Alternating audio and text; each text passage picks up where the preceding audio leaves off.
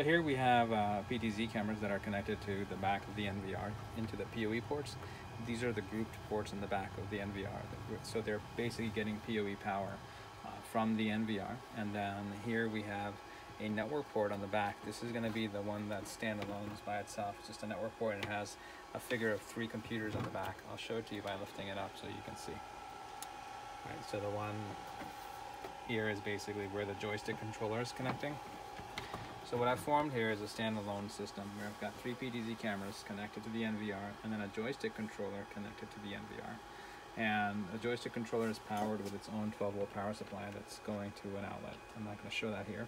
And I've got the joystick controller already configured, so when you want to enter into it, you hit enter and it's going to ask you for the password. The default password is eights, six eights, and then hit enter and it lets you come in. Once you're in here, if your control is already pre-configured, you hit enter into zone control. And if we've set your NVR to ID 0, all you do is press enter and then it says connecting to NVR and you get this screen. Once you're here, that means you can actually start controlling your PTZs. To control the PTZs, you have obviously in this case, let me show you, I've got three cameras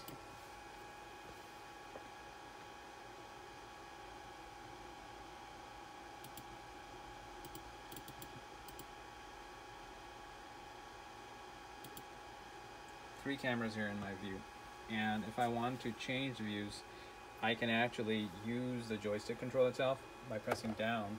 It changes the views. So here, all I'm doing is flicking the joystick controller down and it changes through the views.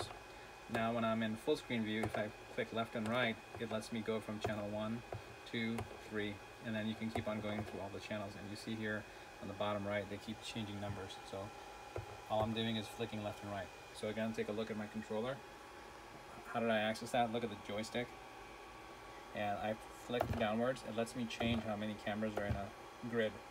And then once I'm in a desired grid, I can click left and right to change uh, which cameras I'm on. Now, with that done, let's talk about how to actually control the PTZ. So I actually went back to PTZ1.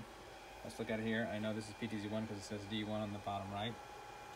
Now let's control it by going on the joystick and typing in 1, it says use one, and then, sorry. So do, let's do that again. So type one, and it says use one, and then hit the PTZ button. Now it actually gave me this cursor. It's actually using the PTZ. If I use my joystick, I can go left and right. I can go up and down, and I can zoom in and out. The way to zoom in and out is you this this joystick is a 3D controller. By turning the knob, you can zoom in and zoom out. Counterclockwise is zoom out, clockwise is zoom in, just like I'm doing it here. So this gives you quick and easy control of your PTZ cameras using the joystick while connected to an NVR. Thanks for watching.